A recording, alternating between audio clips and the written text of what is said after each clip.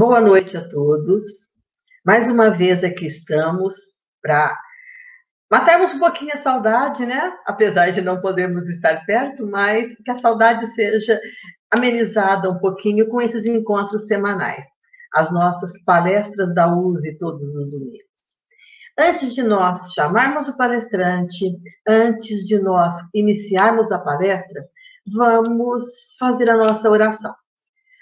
Agradecendo a Deus a oportunidade que nos dá mais uma vez de juntos aqui estarmos para aprendizado, para minimizarmos a distância, minimizarmos a saudade.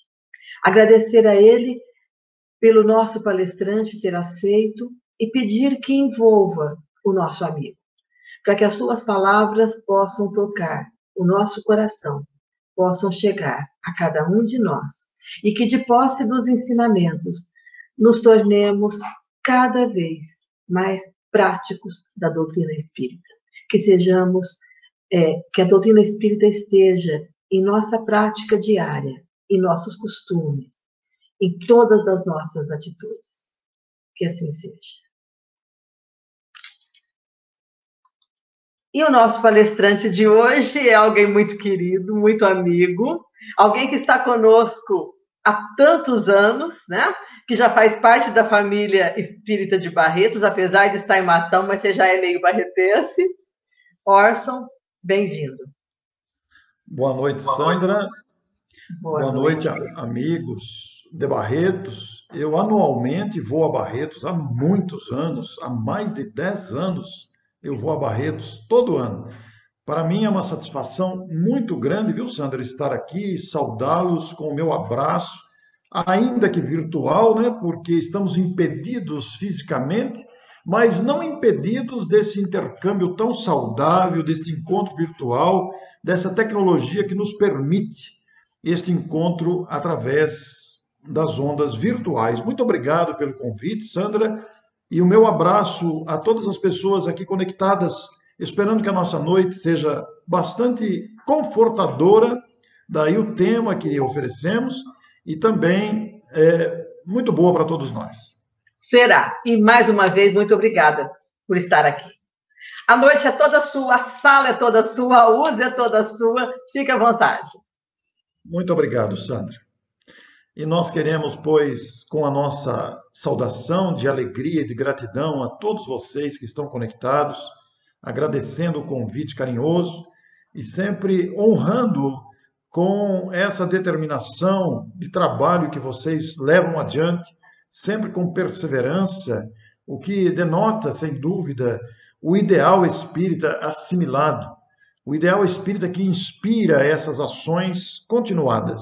Isso é de máxima importância, porque a continuidade, através da perseverança, através dos esforços que empreendemos para qualquer evento, às vezes é uma palestra simples que vai durar os seus 40, 45, 50 minutos, uma hora, às vezes para um evento simples, de uma simples palestra, às vezes para promoções mais abrangentes, não é mesmo? um evento maior, de maior duração, com maior carga horária, ou as providências todas para que o movimento numa cidade, através da USE, ou o movimento numa casa aconteça e alcance, sem dúvida, uh, os objetivos traçados, né?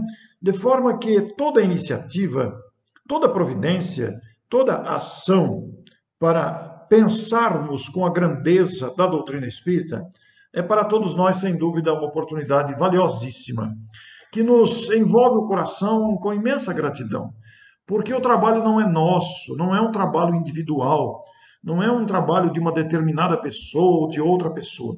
É um trabalho coletivo, é um trabalho de muitas mãos, de muitas mentes, de muitos envolvimentos, não é mesmo? Que faz com que esses acontecimentos alcancem essa visibilidade que hoje tem no país e no exterior, considerando o ideal que nos move. E é interessante porque, com o conhecimento que já temos, todos nós, não é um trabalho apenas dos encarnados. Apesar da movimentação toda que as pessoas encarnadas fazem nos telefonemas, na troca de e-mails, nos WhatsApp, nos áudios, em todas essas providências, nos cartazes, nas artes, nos contatos feito pelos encarnados, há também uma, um planejamento espiritual. E eu, desde que estou na ativa do movimento espírita, trabalhando, seja como articulador de eventos, organizador ou simples participante, e mesmo como palestrante, nos contatos, nas viagens antes da pandemia, e mesmo agora virtualmente, eu sempre fico encantado de pensar nos contatos feitos pelos espíritos, não é mesmo? Porque, da mesma forma que duas pessoas distantes fisicamente, por quilômetros, ou mesmo distantes de maneira interestadual, ou mesmo entre países, muitas vezes nós ficamos a pensar que há uma série de contatos prévios para que determinado acontecimento ocorra com satisfação. Né? Eu fico sempre a pensar que esse contato também ocorre no mundo dos espíritos, não é mesmo? Porque quando, quando duas pessoas ou um grupo faz contatos para estabelecer uma programação, esta programação é inspirada pelos benfeitores, pelos espíritos amigos, espíritos amigos dos dois lados, ou de vários lados, de vários, várias cidades, várias instituições, porque há um trabalho muito grande, há um trabalho permanente, conspirando para que despertemos todos nós para a necessidade de melhorarmos a nós mesmos. Né? Como encarnados, nós estamos com a visão bastante limitada.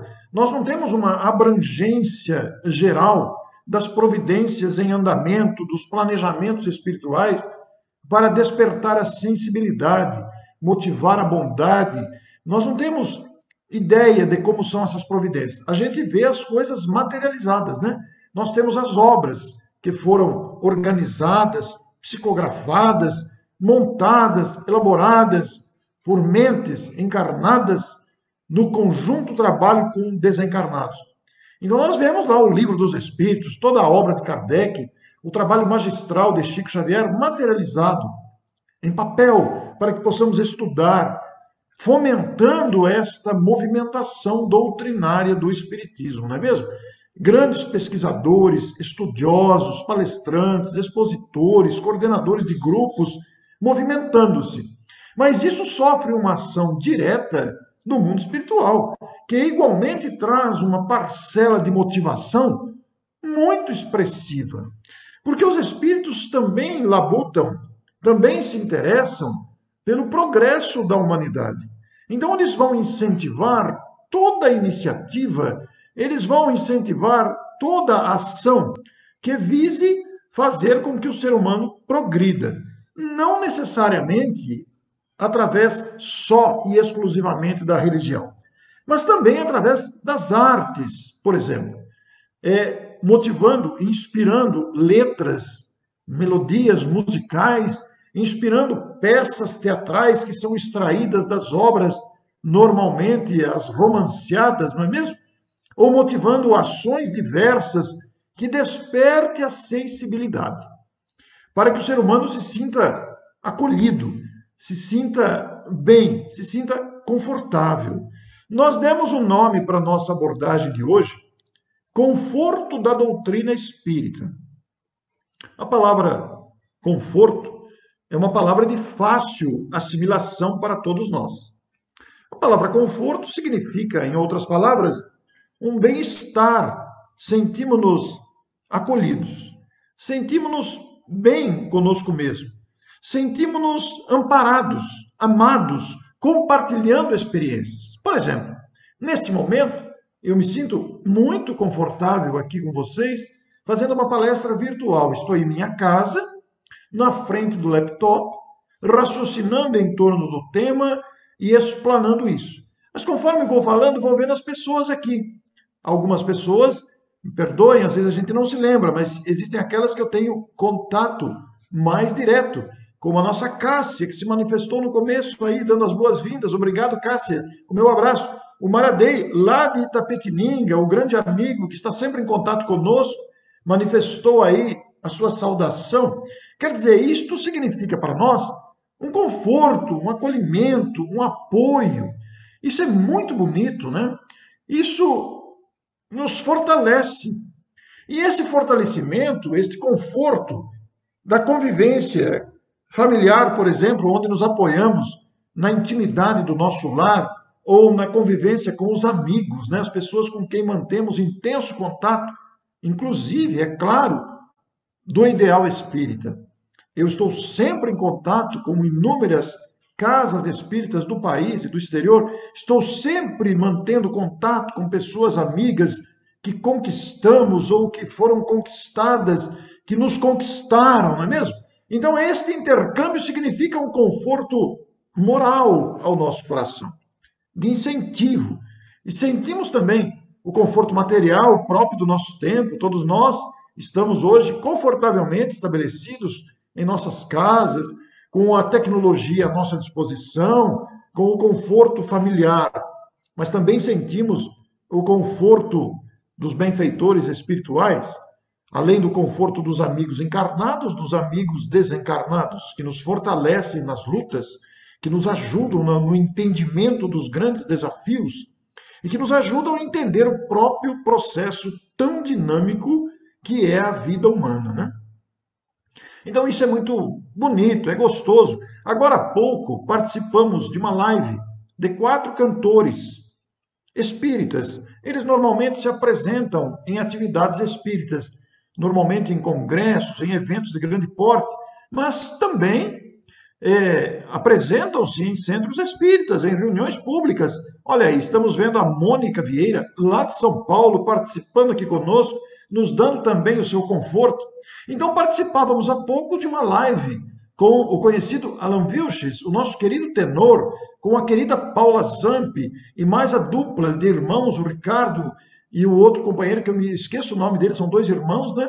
E eles estavam fazendo uma live, porque é, levando a mensagem através da música, porque os sons estão, é, os eventos, aliás, os eventos estão impedidos de acontecerem, justamente pela situação pandêmica que estamos vivendo. Então, tudo isso é motivador para nós. Tivemos uma participação na live, é, entramos ao vivo no programa, demos uma saudação, um abraço aos quatro cantores, cumprimentando-os pela nobre iniciativa, apoiando essa decisão deles, porque sabem vocês que os artistas estão impedidos de se apresentarem. E eles são também cantores profissionais. Então, precisam igualmente do nosso apoio. Então, tudo isso traz esse conforto que a vida pode oferecer. Mas, sem dúvida, para nós que somos espíritas, o conforto oferecido pelo Evangelho de Jesus e pela doutrina espírita significa um conforto de grande expressão, porque é nele que nos apoiamos. É nesse conforto advindo do conhecimento do Espiritismo, que se embasa totalmente no Evangelho, que nós adquirimos esse conforto que precisamos no enfrentamento das adversidades. Não são poucas as adversidades. Cada um de nós sabe os problemas, as dificuldades que enfrenta, cada um de nós conhece as limitações que nos são próprias, limitações de várias ordens, seja a nossa deficiência interior, os nossos traumas, nossos medos, os nossos sentimentos de culpa, de arrependimento, de medo. As situações são muito variadas, muito variadas.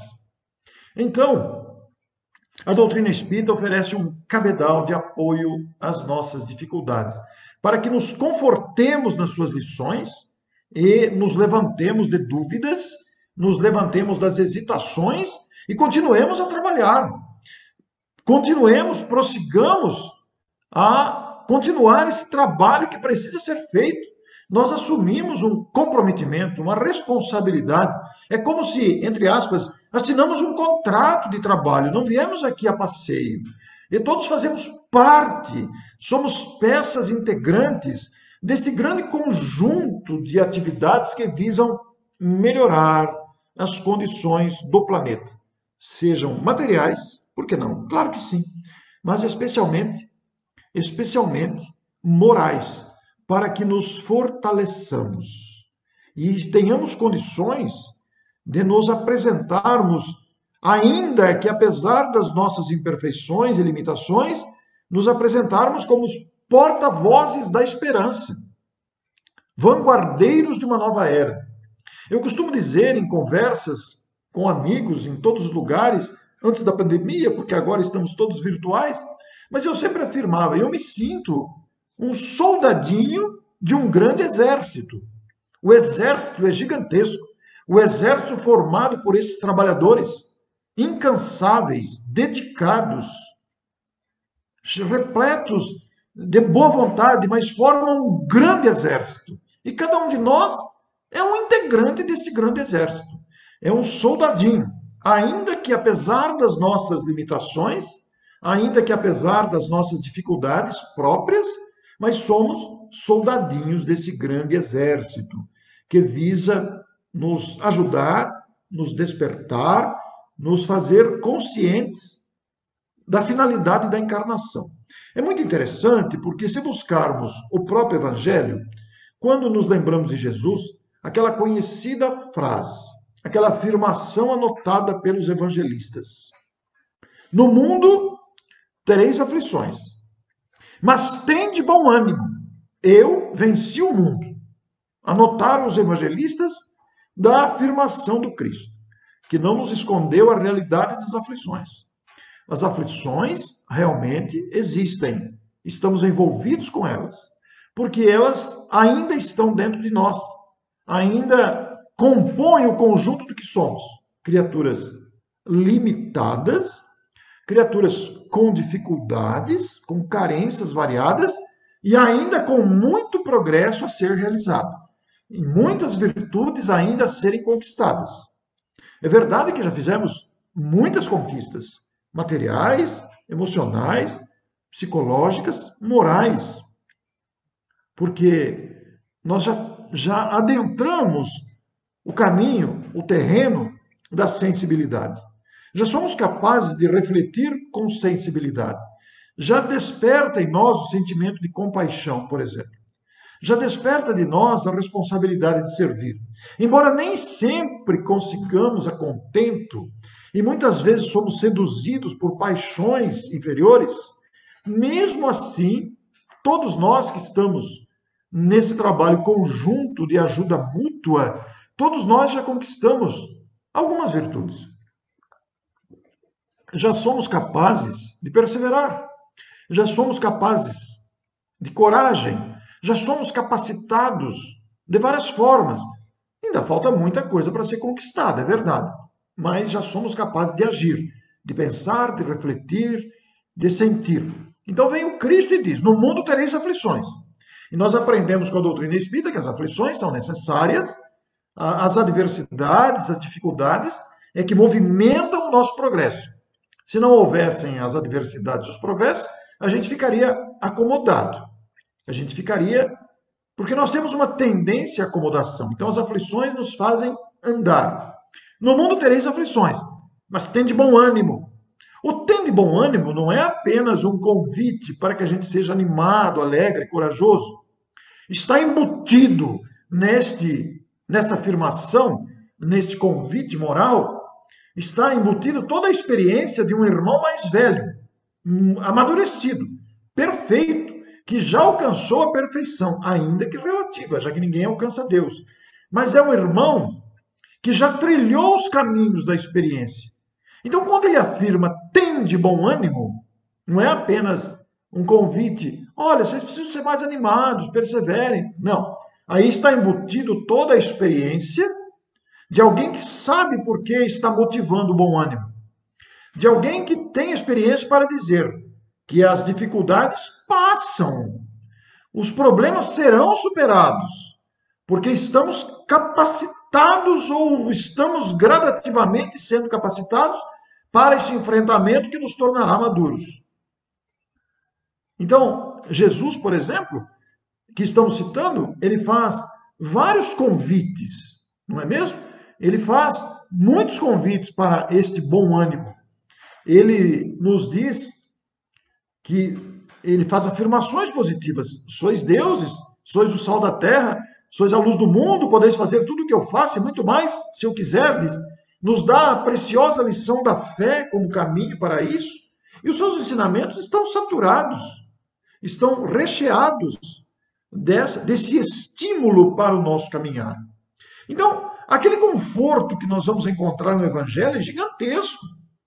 Mas é preciso que busquemos essas pérolas preciosas vindas da sabedoria de um espírito amadurecido, de um espírito que alcançou a plenitude e, portanto, preparado, capacitado plenamente para conduzir os seus irmãos ainda trôpegos, tropeçando, que somos nós. Estamos naquela fase de amadurecimento, que estamos aprendendo. E claro que o Evangelho oferece essa luz da fé, do grão de mostarda, e tantos outros ensinamentos que nos fortalecem para este caminhar. E se nós formos buscar na própria doutrina espírita, que está embasada no Evangelho, não é mesmo? O embasamento doutrinário do Espiritismo está todo no Evangelho. O Espiritismo não é uma invenção. O Espiritismo é a síntese da lei divina, através de seus princípios fundamentais. E o Espiritismo não foi inventado, não é imaginação de Allan Kardec. Não é invenção de Allan Kardec. Allan Kardec teve o trabalho de coordenar os ensinos, através da pesquisa por um método científico de observação dos fenômenos produzidos pelos espíritos. Que fenômenos? Os fenômenos mediúnicos, que vieram a demonstrar a continuidade natural da vida. E o Espiritismo, pois, ao demonstrar vivamente, pelo raciocínio, pelo bom senso, que a vida continua naturalmente, ainda acrescentou a possibilidade de termos constatação dessa realidade. As comunicações mediúnicas nos dão provas patentes dessa possibilidade, desta real existência do espírito pós-morte. Então, a vida humana do berço ao túmulo é apenas uma das experiências. Já vivíamos antes, viveremos depois. Claro que este assunto é motivo, muitas vezes, daqueles que não estão habituados à doutrina espírita, de contestação, ninguém voltou para dizer, eu não acredito nisso, etc. A gente vê todo tipo de manifestação de incompreensão com aquilo que o Espiritismo ensina. Seja da imortalidade da alma, seja da reencarnação, seja da comunicabilidade dos espíritos, entre outras questões. Mas isso é natural. É natural que haja contestação. As pessoas estão em busca de respostas. As pessoas estão querendo entender o processo da vida. Então é natural que haja a dúvida. A dúvida é saudável. Mas nós que estamos habituados com o Espiritismo, que estudamos em suas obras fundamentais, que estamos constantemente pesquisando e adentrando, refletindo doutrinariamente, já não há mais dúvidas. E não é uma crença mais, é uma convicção.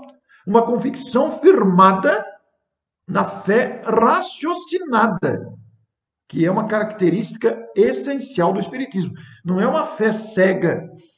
Nós não, não temos convicção na existência dos espíritos, na reencarnação, na comunicabilidade deles, porque Allan Kardec publicou o livro dos Espíritos, e Allan Kardec falou, os Espíritos falaram, então. Não! Kardec nos leva no livro dos Espíritos, por exemplo, ao lançar esta obra fundamental, a raciocinar e tirar conclusões sobre essa realidade. Não é uma aceitação cega, é uma aceitação raciocinada. Ora, esse quesito da aceitação raciocinada abre um universo de argumentações, de reflexões, de terreno sólido, onde podemos apalpar esta realidade incontestável. É palpável, é palpável. Então, quando pegamos o livro dos Espíritos e analisamos o índice, por exemplo, vamos nos deparar com questões e capítulos e subitens e perguntas e respostas extraordinárias. Eu vou me valer aqui de uma resposta que normalmente a gente passa desapercebido por ela, mas essa resposta tem uma conotação maravilhosa. Estou aqui com o livro dos Espíritos em mãos e a questão 560, que está lá no capítulo 10, das ocupações e missões dos espíritos. A pergunta do Kardec é: tem atribuições especiais cada espírito? A pergunta que nos leva a abranger essa, esse alcance. Os espíritos têm atribuições? Quer dizer, eles estão encarregados de alguma tarefa especial? eles têm encargos, obrigações, eles têm compromissos especiais, cada um, porque esse cada um são bilhões, quantos? Trilhões, não temos ideia da população do universo. Não, não tem como medir. Mas vamos nos situar só no planeta Terra, para a gente não ter que viajar muito, né? Vamos ficar aqui no planeta. Os espíritos vinculados ao planeta. Mas a resposta vai nos dar abrangência que teremos que sair do planeta. Olha só que interessante. Todos, todos, eles, os espíritos que responderam se incluíram. Todos temos, eles se incluíram na resposta. Que habitar em toda parte. Habitar em toda parte. E adquirir o conhecimento de todas as coisas. Olha que abrangência que isso dá. Temos que habitar em toda parte e adquirir o conhecimento de todas as coisas, presidindo sucessivamente ao que se efetua em todos os pontos do universo. Como é que a gente fica? É de cair o queixo isso. Mas aí está a tarefa permanente que aguarda os espíritos, que estamos evoluindo nas experiências. Por enquanto, capacitados para um planeta como esse, que apesar de ser um planeta ainda com dificuldades, é um planeta lindo, não é? É um planeta onde já desfrutamos daquele conforto material que eu citei no início, e estamos também desfrutando do conforto moral. Mas os Espíritos aqui vai dizer que todos temos que habitar em toda parte e adquirir o conhecimento de todas as coisas, presidindo sucessivamente ao que se efetua em todos os pontos do universo. Ora, em outras palavras, isso significa que nós vamos nos tornando gradativamente co-criadores e participando deste processo de condução do universo. A casa do Pai é o universo, repleto de muitas moradas em diferentes estágios. E em cada estágio, todos os espíritos participam deste processo porque, imaginemos, nós, no estágio que estamos, nós ainda somos bastante limitados, nós estamos vinculados ao planeta. Por mais que a gente esperneia, é aqui que a gente tem que ficar. E tem que dar conta daqui. E administrar os conflitos e as dificuldades deste planeta. Todavia, a gente é capaz, eu não sei fazer Wi-Fi, não sei fazer internet, não sei fazer celular, mas a nossa raça sabe. Já alcançou este progresso material que aí está estamos nos comunicando ao vivo, online, transmissão, todo mundo em casa e todo mundo conversando sobre esse assunto. Isso já é conquista do progresso material. Quer dizer, nós fomos capazes de criar isso. E todo o resto da tecnologia que está a nosso favor, que a ciência já conquistou. Mas gradativamente, na evolução, nós vamos ocupando outros, outros espaços de trabalho a ponto de, lá na frente, quando alcançarmos a perfeição, como alcançou Cristo, presidir a evolução de planetas, presidir a formação de sistemas solares, administrar galáxias, participando da obra da criação, sob vistas do Criador. Se vocês buscarem lá a Gênesis, no capítulo 18, nós vamos encontrar essa afirmação logo nos primeiros itens do capítulo 18, do trabalho dos espíritos, já plenamente identificados com Deus, que presidem os fenômenos da natureza. Ora, isso é extremamente confortador, lembrando o futuro que nos aguarda. E no mesmo capítulo, se formos buscar a pergunta 573, muito conhecida, em que consiste a missão dos espíritos encarnados? Somos nós, né? Toca diretamente a nós. E os Espíritos responderam: instruir os homens, auxiliar-lhes o progresso, melhorar-lhes as instituições. Vejam que trabalho amplo está reservado a todos nós.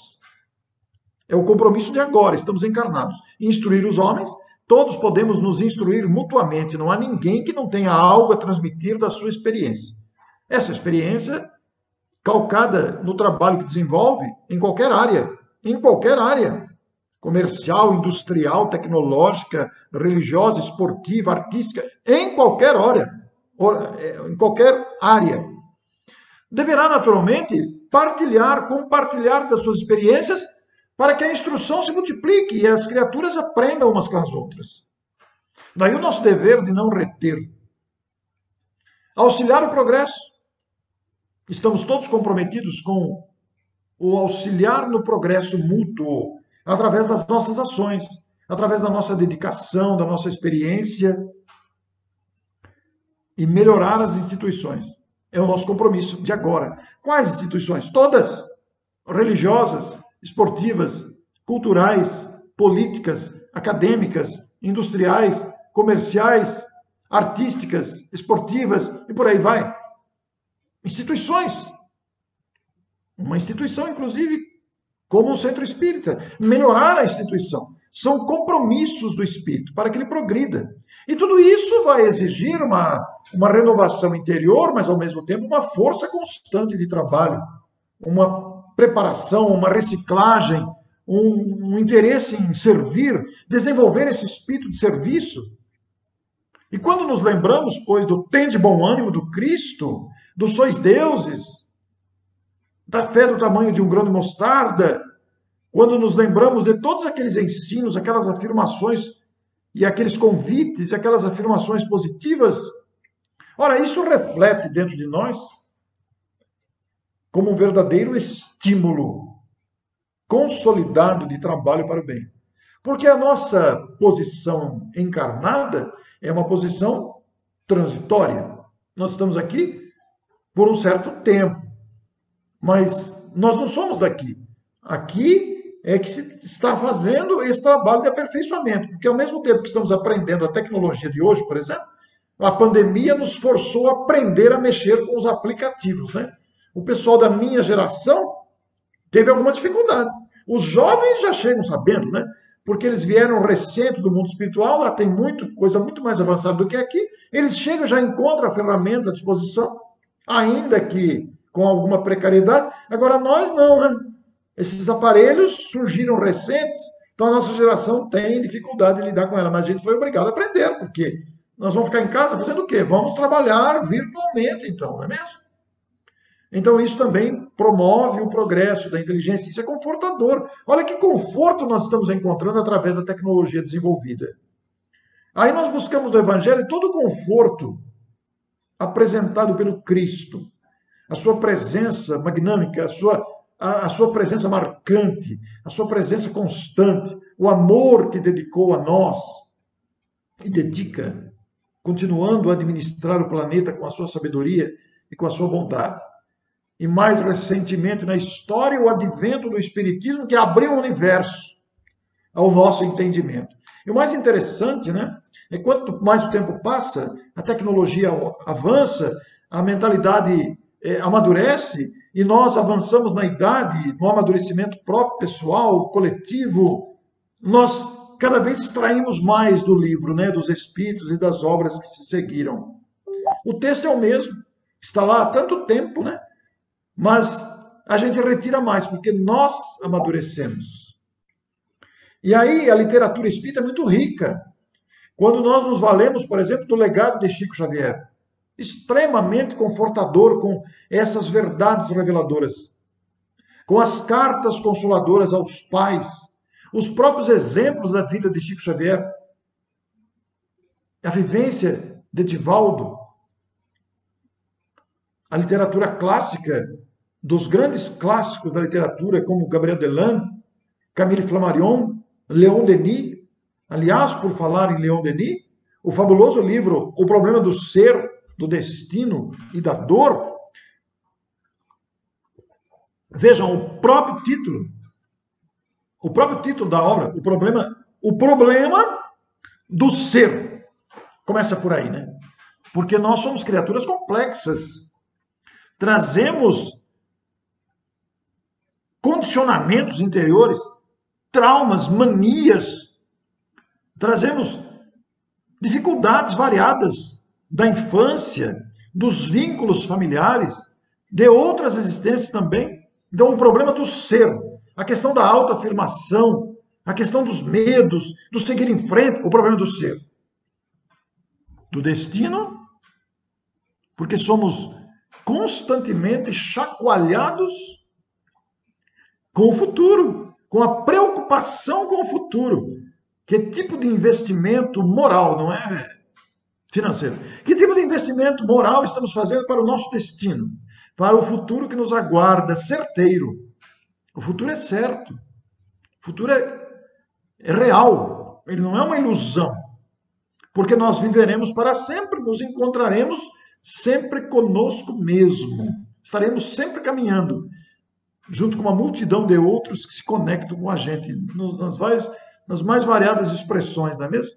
O problema do ser, do destino e da dor. Que dor? Todas as dores que aí estão, físicas e morais, inclusive esta pandemia que se transformou numa dor de preocupação, né? de aflições. Hoje mesmo eu recebi um áudio de uma amiga aqui próxima falando da ansiedade, da preocupação desta deste anseio de algo concreto face às indefinições em andamento, né? Então muitas pessoas se sentem aturdidas, muitas criaturas se sentem abaladas, temerosas. O futuro está, pelo menos à primeira vista, considerando o, o nosso estágio, o nosso estado de encarnado, está indefinido. Me perguntaram como é que vai ser a volta após a pandemia. Eu falei, eu não sei. E não sei mesmo. Como é que vai ser a volta após a pandemia? Não tem como dizer, está indefinido, tudo está indefinido. No entanto, este é apenas um processo passageiro, porque a pandemia vai passar também. É um estágio. E o mundo espiritual toma todas as providências e cuidados para que estejamos é, tranquilos, pelo menos, para que sejamos amparados. Aí alguém perguntaria, mas está morrendo centenas de pessoas todo dia no Brasil. As mortes sempre ocorreram, diariamente ocorrem mortes por acidente, por infarto, por AVC, por bala perdida, por tombos, etc. Acrescidas essas mortes atuais pelo coronavírus, essa pandemia que assolou o planeta. Mas aqueles que desencarnam não estão desamparados. Como são recebidos? São acolhidos e recebidos carinhosamente.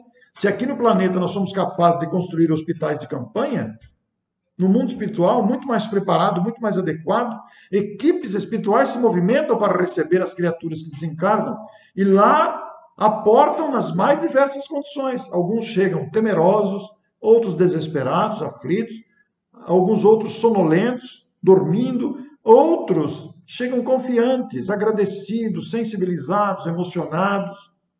Outros nem, nem sabem o que aconteceu, porque são as condições variadas do ser humano, psicologicamente colocado em condicionamentos mentais. Muitos de nós nos escravizamos em bolhas que nós mesmos criamos bolhas variadas do medo, da ambição, é, da preocupação excessiva, das manias, prisões emocionais, psicológicas, é o tema de outra palestra, né? As bolhas que nos aprisionam. Então, o mundo espiritual está preparado para receber e está recebendo com acolhimento. Tudo isso é conforto para a alma. Conforto da doutrina espírita está na consolação que ela oferece, no raciocínio, na lógica dos seus conceitos. Está na estrutura lógica daquilo que ensina, que não é inventado. Não é imaginação de ninguém, é fruto da observação dos fatos, das leis que regem a vida humana, das leis que regem os mundos, os planetas. E nesse momento nós estamos passando por um momento de transição para um estado melhor. E isso não está ocorrendo apenas no planeta Terra. É um movimento geral do universo que constantemente renova-se e propulsiona o progresso.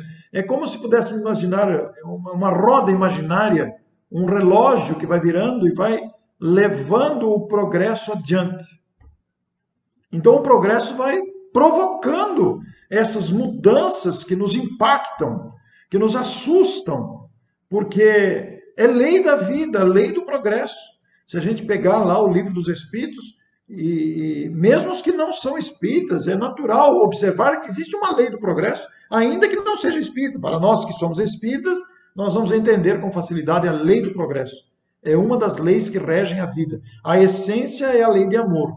Mas existem outras leis que regem o nosso conduzir, que nos auxiliam a conduzir o próprio comportamento. Então, o conforto de ler uma experiência como de Ivone do Amaral Pereira, da sua descrição da própria experiência de vida, as suas lutas, o conforto de ler uma malha Domingo Soler, o conforto de deleitar-se com a primorosa obra de Leon Denis, nesse o problema do ser, do destino e da dor, o conforto de o Evangelho segundo o Espiritismo, esse estímulo oferecido pelo conhecimento, que se desdobra por toda parte, que apresenta às criaturas a oportunidade de compreender a vida, apesar da nossa limitação. Tudo isso nos enche o coração realmente de imensa alegria, de gratidão, que nos conforta, porque a doutrina espírita é embasada na lógica, no bom senso. As dificuldades que surgem é quando a gente esquece. Né? Existem dificuldades que são para a gente avançar, mas muitas dificuldades, muitas aflições poderiam ser evitadas. Não fosse a nossa rebeldia, não fosse a nossa teimosia, não fosse a nossa sedução por variadas paixões. Mas, mesmo através das seduções que nos permitimos, mesmo através disso, nós ainda compreendemos com a reencarnação a possibilidade da renovação de oportunidades. Talvez hoje não tenhamos conseguido, mas a reencarnação mantém portas abertas para que o que não conseguirmos fazer hoje, poderemos fazer amanhã. Ora, isso é extremamente confortador, né? Isso traz ao nosso coração um sentido de compreensão do amor de Deus para conosco.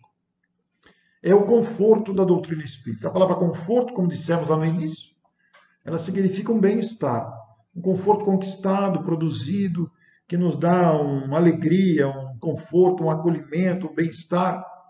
Agora, quando a gente fala conforto da doutrina espírita, aí está embutida toda a lógica do espiritismo, que não é invenção, repetimos, não é imaginação de Allan Kardec, mas é a síntese das leis divinas. Para entender isso, nós temos que estudar. Estudar didaticamente, com interesse, com esforço continuado, refletir sobre os fatos, inclusive os fatos que estão acontecendo todo dia, podem ser analisados à luz do Espiritismo. Todos esses fatos lamentáveis, não só da pandemia, claro que não. Quantas coisas acontecem diariamente e nós vemos a imprevidência humana presente, tantos fatos lamentáveis da corrupção, do desvio de dinheiro, da desonestidade, Quanta coisa acontece diariamente. E isso gera consequência. Nós mesmos, na nossa vida individual, quantos debates internos nós não temos? Nem sempre sabemos que direção tomar. Às vezes ficamos aturdidos diante de fatos e acontecimentos e ocorrências que nos balançam a estrutura. Mas mesmo assim, a doutrina espírita é um manancial de conforto ao nosso coração. Porque sabemos que tudo isso vai passar. Então nós queremos, com a nossa alegria, com a nossa gratidão, chamar a Sandra aqui de novo para conversarmos um pouquinho sobre essas questões. Quem sabe houve alguma manifestação do público presente que queira fazer alguma observação, alguma pergunta. Não que eu esteja aqui para responder perguntas, mas podemos trocar algumas ideias, né? Isso, é, eu queria comentar agora, né? Se alguém tiver alguma pergunta, é só colocar que a gente vai, vai passando para você. E a, as colocações aqui, que também são as minhas, são de excelente palestra, de esclarecimento, de uma gratidão imensa por você estar aqui hoje. Os amigos todos são nesse sentido. É, Sandra, falar da doutrina espírita nos enche o coração de, de, de entusiasmo, né? Face a tudo que recebemos dela, eu não preciso falar isso para você, porque você também é atuante. Quantos amigos que estão aqui nos acompanhando igualmente se dedicam arduamente, cotidianamente, alimentam o movimento, e essa alimentação do movimento desperta criaturas que se sentem desacreditadas, criaturas que se sentem abandonadas, desoladas, desanimadas, Mas mesmo assim, nós temos que ter no coração a certeza dessa presença divina que nos alimenta a alma. O Espiritismo representa tudo isso, né? Ele representa dinamismo, é, abastecimento de energias, é, direcionamento correto, orientação de proceder, apesar da nossa mediocridade moral, dessa construção que ainda estamos fazendo, né? Estamos sendo lapidados, né? Sendo lapidados por todas as situações da vida, né? E você falou uma coisa agora que é verdade. Ah, desse trabalho. Ah, quando a pandemia chegou, as casas espíritas fecharam e, e agora? É claro que estar lá é diferente, mas essa abrangência que as palestras virtuais estão tendo, é, os corações estão sendo tocados, às vezes alguns que nem nunca pisaram numa casa espírita, que é o que você acabou de falar agora. É verdade. Inclusive, é, isso criou uma, uma abrangência enorme, né? Porque muitas pessoas às vezes viam uma palestra por semana, agora estão vendo todo dia, né? Porque está sendo uma produção intensa de lives, de entrevistas, de palestra. Todo o Brasil está fazendo isso e todo mundo está fazendo live. E, eu trouxe uma decorrência muito interessante disso. Aumenta a responsabilidade de quem faz as lives, porque a responsabilidade de falar é muito grande, mas não invalida o esforço continuado que se deu nessa direção, né? Nós tivemos uma palestra aqui em Matão hoje de manhã com o Ari Dourado de Campinas. Eu assisti. E eu extraí isso. Você assistiu? Assisti. Você viu o finzinho da palestra? Aquela prece final que ele fez? Não, eu assisti um bom pedaço, todinha não. Então, o final da palestra. e ele já vai ser um dos próximos convidados para a nossa palestra aqui da noite. O Ari é ótimo. O Ari é um muito grande bom. amigo, muito conhecedor. E ele brilhou no final da palestra. E eu cortei o pedacinho que ele brilhou mesmo, brilhou no, no, exato sentido do termo, cortei o pedacinho, já pus lá no meu canal de YouTube, e ele faz uma rogativa a Deus emocionante, porque ele falou das vibrações, né? Ah, coloca o meu nome lá no caderno de vibrações. Né? Nós entrevistamos ele sobre isso, fizemos uma live com ele sobre esse assunto, caderno de vibrações, e hoje ele repetiu o tema mas de outro, com outro ângulo, porque ele, ele fez palestra, não foi entrevista. E ele, no final, fez uma rogativa emocionante a Deus, diante das, das dificuldades que todos passamos. Eu cortei o um pedacinho, são três minutos. Visitem lá no meu canal do YouTube e vejam lá. Deus, não te vejo, não te ouço. Está lá, Ari Dourado. Veja, são três minutos apenas. Vocês que estão nos vendo, Acessem esse clipe, são três minutos, espalhem isso, porque isso pode fazer benefício para muita gente. Eu cortei do finalzinho. E é de um conforto, Sandra, por isso que eu ofereci esse tema hoje.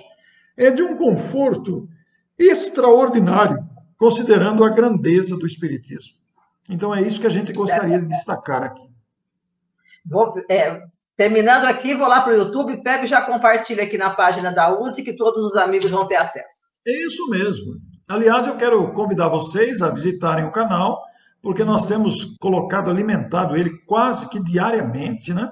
E com rico conteúdo. Está conosco a Cássia, que criou aquele canal de YouTube também de evangelização. Muito importante que vocês também visitem o canal da, da, desse esforço da Cássia, compartilhar e se inscreverem no canal, fortalecer o canal, porque toda iniciativa que fizermos em favor da expansão do bem e do belo redundará em progresso para todos. E nós não podemos ser egoístas, nós temos que compartilhar o que é bom, temos que falar do que é bom, porque de alguma forma alguém será atingido. Não importa que seja uma única pessoa. Olha, eu vivi uma experiência muito interessante, hoje permita contar, eu estou terminando já. Mas a minha, a minha participação na live. Quando terminar, eu volto, tá bom? Tá Pode bom. contar. É, é rapidinho. Na minha participação hoje com a live do Alan Vilches, é, uma pessoa me mandou uma foto do marido que me conhece. E ele é muito difícil de sorrir. Diz que ele tem dificuldade de sorrir. Mas quando ele me viu lá, ele sorriu. Ela flagrou o momento em que ele estava sorrindo e falou: Olha o Orson lá! então, só por este fato, ele é um marido assim. Tem um rosto, ele é difícil de sorrir, né? Mas esse fato valeu a minha participação na live, me deu muita felicidade, porque uma alma, pelo menos, foi beneficiada. Então, graças a Deus, né? E a esposa flagrou o momento e mandou a foto para mim. que coisa linda, né? Que coisa boa. Então, é isso que nós queremos agradecer a vocês. Eu peço a Sandra que volte, porque nós temos uma surpresa agora no encerramento da nossa palestra da noite, vinculada ao tema, né? E para que essa surpresa seja possível, eu pedi para Sandra me esconder aí, eu volto num instante. Surpresa maravilhosa, gente. Daqui a um segundinho vocês vão ver, não percam. Rapidinho, rapidinho. Enquanto isso, se alguém tiver alguma pergunta, dá para colocar aí no chat, que ao final o Orson responde. A surpresa é essa, é a Neuza. a esposa do Orson. Nada te espante, tudo, tudo passa, só Deus não muda, paciência tudo alcança, nada te falta com Deus no coração. Só Deus, só Deus te basta. Neuza, muito obrigada, muito obrigada. Surpresa linda, maravilhosa que toca o coração. E agradecer a você e ao Orson, que está aí do lado, a gente já viu ele chegar. Pode nos falar, menino. Aí, aí ficam os dois em cena. Orson, vai despedir do pessoal. te perturbe, nada te espante tudo, tudo passa. Só Deus não muda. A paciência tudo alcança. Nada te falta com Deus no coração. Só Deus só Deus te basta.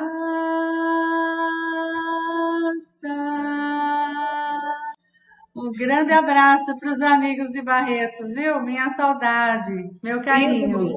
Um Já foi uma oração, Nilza. Obrigada, muito obrigada, viu? Agora o Orson vem, tá? Ah, Tchau, pessoal. Tchau. Obrigada. Ei, meu amigo.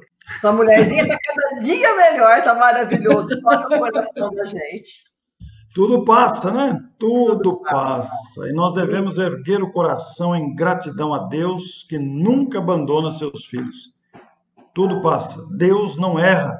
Deus é sábio, absoluto, único, bondoso, generoso, sábio, onisciente, onipotente, onipresente.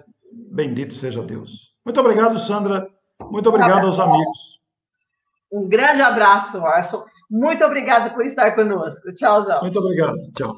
E nós vamos então nos despedindo, convidando a todos para que daqui a uma semana, novamente às 19h30, estejamos juntos no próximo domingo e agradecendo a Deus por essa oportunidade, por essas palavras, por essa canção que tocou o nosso coração, rogando a Ele que envolva esse casal de amigos para que continuem a levar a doutrina dos Espíritos a todos os cantos. E também rogando a Ele que nos envolva na semana que se inicia, para que essa semana seja de trabalho, seja produtiva em nossas vidas. Que assim seja. Muito obrigada e boa noite.